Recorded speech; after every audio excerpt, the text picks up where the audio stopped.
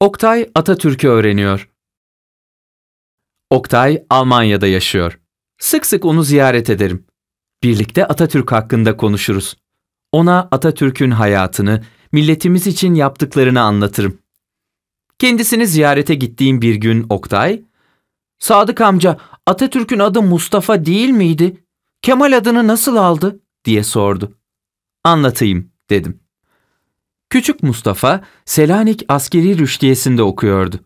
Okulunu, öğretmenlerini, arkadaşlarını ve derslerini çok seviyordu. Matematik öğretmeninin de adı Mustafa'ydı. Küçük Mustafa matematik derslerinde sınıfının en iyi öğrencisiydi. Bütün işlemleri kolayca yapıyordu. Bir gün zor bir soruyu herkesten önce çözüverince matematik öğretmeni Mustafa Bey onun zekasını çok beğendi. Onu ödüllendirmek istedi.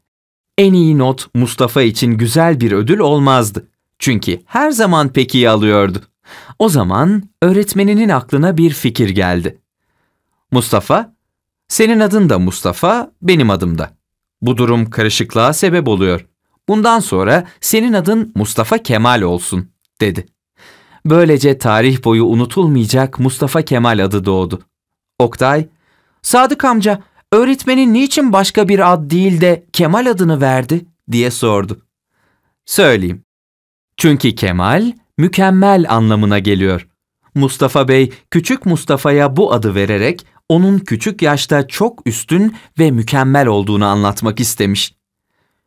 Peki Mustafa Kemal'e Atatürk adını kim vermiş Sadık amca? Atatürk onun soyadı.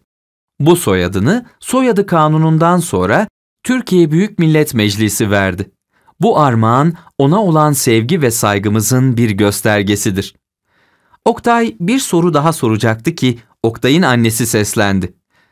Atatürk öyle bir iki günde anlatılmaz çocuğum. Bir dahaki sefere kaldığınız yerden devam edersiniz. Şimdilik bu kadar yeter. Birlikte sofraya geçtik. Güzel yemekleri iştahla yemeye başladık. Atatürk'ü andığımız için sanki yemekler daha bir lezzetliydi bu akşam. Yüksel Pazarkaya